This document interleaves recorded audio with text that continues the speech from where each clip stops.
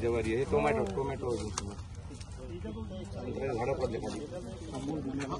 नवनीत राणा यांनी चांदूरबार तालुक्यातील शेती पिकांची केली पाहणी. त्याचं झालं असं की अमरावती जिल्ह्यात गेल्या दोन दिवसापासून गारपीट व वादळी वाऱ्याच्या पावसाने मोठं थैमान घातलंय.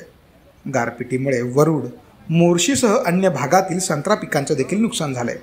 तर या पावसामुळे काही ठिकाणी घरांची देखील पडझड झाली आहे या पार्श्वभूमीवर खासदार नवनीत राणा यांनी चांदूर बाजार तालुक्यातील शेती पिकांची पाहणी केली. तसेच गावागावांमध्ये जाऊन नुकसानीचा आढावा घेतला. प्रत्यक्ष नागरिकांच्या घरी जाऊन पाहणी करून अधिकाऱ्यांना तात्काळ पंचनामे करण्याचे आदेश देखील दिले.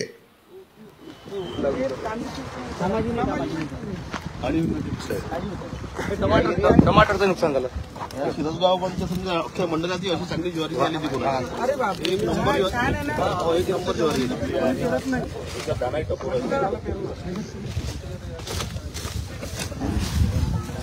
हो अंदरून घे बाईट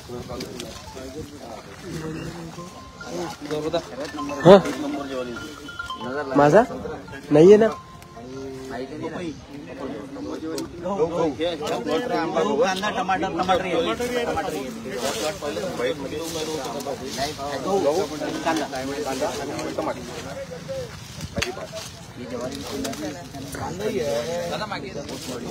पण आपण जर आज पाहिलं की रात्री जे पाऊस झालं गारपीट झाली परवाच्या दिवशी जर आपण पूर्ण मागे पाहिलं तर पूर्ण जवारी जोडी आहे इथे.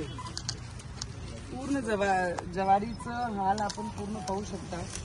आणि जवारी गेलं पूर्ण संत्राचे झाडं पडले झाडं गेले. पूर्ण बोडातून गेले आंबा गेले कांदे जे आहे सगळ्यात जास्त दर्यापूर या पट्ट्याच्या अंजनगाव भागात आणि चांदूर बाजारच्या भागात ते कांदेही सुद्धा गेले गहू सुद्धा गेले. आणि आज आपण पाहू शकतो आणि मी सुद्धा पंचनामेसाठी कलेक्टर सोबत प्रधान सचिव यांच्या सगळ्यांसोबत आपण सेक्रेटरी सोबत बोललो आहे की लवकरात लवकर यांना काय मदत करता येईल सरकारकडनं ते आपण केलं पाहिजे. पण अतिशय दुःख वाटत आहे की एवढी चांगली ज्वारी असताना सुद्धा आज यांचे शेतकरी अमोल भाऊचं शेत आहे आणि त्यांच्या हाती काहीच लागणार नाही. कारण की जे ज्वारी आहे पूर्ण काळी पडत आहे. आणि या पद्धतीचं त्याचं पूर्ण प्रकार झालेला आहे. मला वाटतंय माझी सरकार आमच्या सरकार सोबत आपण बोललो ऑलरेडी सीएम साहेबांसोबत आणि डिप्टी सीएम साहेबांसोबत. त्यांना विनंती सुद्धा केली आहे की लवकरात लवकर आपण काही ना काही मार्ग काढून या शेतकऱ्यांना दिलासा देण्यासाठी पण काही ना काही जाहीर नक्की केलं पाहिजे.